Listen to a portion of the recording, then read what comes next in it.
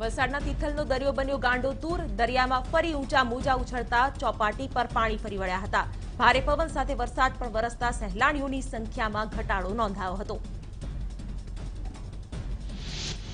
હવામાન વિભાગની આગાહીને પગલે પોરબંદરમાં ચોપાટી પર અવરજવરને લઈને જાહેરનામું લંબાવાયું. વાયુ ડિપ્રેશનમાં ફેરવાશે તે અહેવાલ બાદ નિર્ણય લેવાયો છે. તારીખ બાવીસ જૂન સુધી જાહેરનામું લંબાવવામાં આવ્યું છે.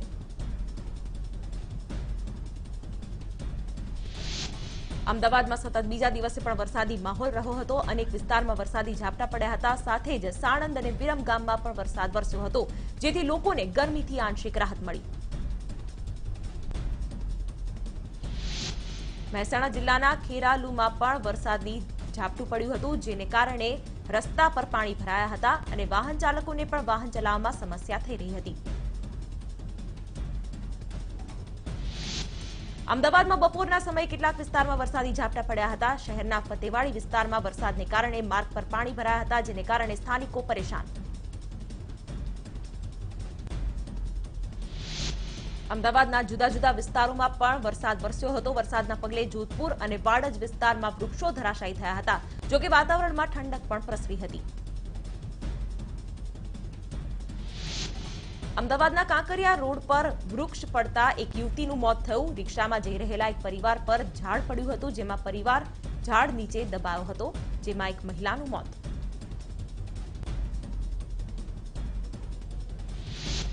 અમદાવાદમાં જોધપુર ચાર રસ્તા નજીક વૃક્ષ ધરાશાયી થવાની ઘટના સામે આવી.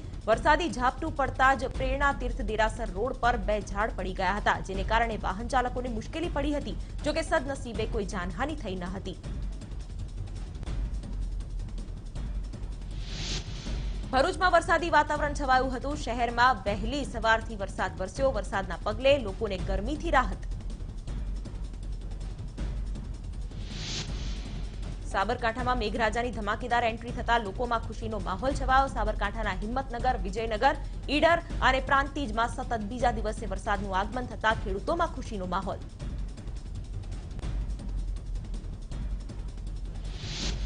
રાજ્યમાં અનેક જિલ્લાઓમાં વરસાદનું આગમન થયું છે. ત્યારે રાજકોટના ધોરાજીના ધારાસભ્ય લલિત વસોયાએ વાવણીની શરૂઆત કરી હતી. લલિત વસોયાએ પોતાના ખેતરમાં બળદ સાથે હળને જોતરીને વાવણી કરી હતી.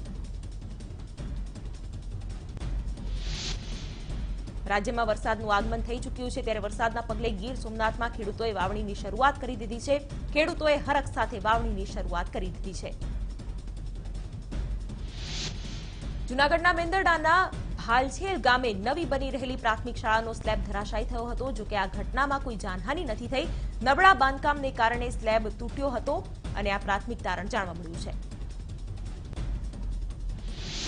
છેલ્લા ત્રણ દિવસથી તોફાની પવનના કારણે વલસાડમાં કેરીના પાકને મોટું નુકસાન થયું છે. તોફાની પવનના કારણે આંબાની ડાળીઓ અને વૃક્ષો પણ પડી ગયા હતા. તો ઊભા આંબા પરથી અસંખ્ય કેરીઓ ખરી પડી હતી, જેને કારણે આંબાવાડીના માલિકો ચિંતામાં મુકાયા.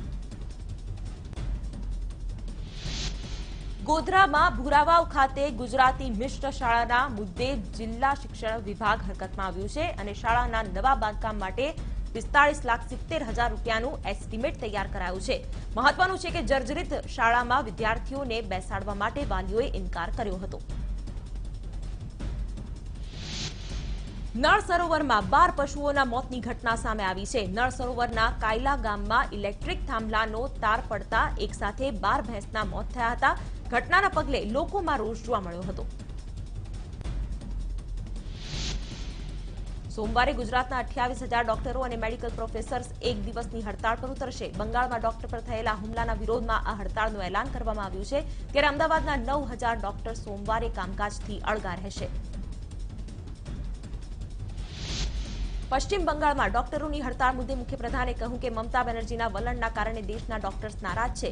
ચૂંટણી પરિણામો પછી મમતા ખૂબ હતાશ થઈ ગયા છે અને ગુસ્સો કરતા થઈ ગયા છે. સાથે જ રૂપાણીએ ડોક્ટરોને અપીલ કરી કે દર્દીઓને તકલીફ ન પડે, તે રીતે ઇમરજન્સી સેવા આપે. રાજ્યસભાની ખાલી પડેલી બેઠકો માટે પેટા ચૂંટણી જાહેર થઈ ગઈ છે. ત્યારે મુખ્યપ્રધાન વિજય રૂપાણીએ બંને બેઠકો પર આસાનીથી વિજય મેળવવાનો વિશ્વાસ વ્યક્ત કર્યો છે. રૂપાણીએ કહ્યું કે રાજ્યસભાની પેટા ચૂંટણી એક સાથે નથી હોતી. બે ચૂંટણીના અલગ અલગ નોટિફિકેશન છે. અમારી પાસે બંનેના પૂરતી બહુમતી છે. અમે બંને બેઠકો જીતી જઈશું તેવો દાવો પણ કર્યો. ભાજપ હવે રાજ્યમાં નવા વીસ લાખ સદસ્યો જોડવાની કવાયત શરૂ કરશે, જેના માટે છ જુલાઈથી એક અભિયાન શરૂ થશે. આ મામલે અઢારમી જૂને પ્રદેશ પ્રમુખ અને સીએમ વિજય રૂપાણીની અધ્યક્ષતામાં કમલમ ખાતે મેગા બેઠકનું આયોજન કરાયું છે. વડોદરામાં કોંગ્રેસ પ્રદેશ પ્રમુખ અમિત ચાવડાએ કહ્યું કે કોંગ્રેસ પક્ષનો એક સભ્ય ન ચૂંટાય તે માટે ભાજપ પ્રયાસ કરી રહ્યું છે. અલગ મતદાન અને અલગ નોમિનેશન માટે ચૂંટણી પંચ પર સરકારનું દબાણ છે. તો કટાક્ષ કરતા એમ પણ કહ્યું કે જ્યાં સુધી ગુજરાત રાજ્યસભાની ચૂંટણી હતી, ત્યારે અમિત શાહ અને સ્મૃતિ ઈરાની સાથે ચૂંટણી જીત્યા, તો આ વખતે કેમ ચૂંટણી અલગ અલગ થાય છે? તો અમિત ચાવડાએ એમ પણ કહ્યું કે બંધારણના નીતિ નિયમને ચૂંટણી પંચ ભૂલી ગયું છે. અલગ ચૂંટણી થાય તો ભાજપ સીટ હારે.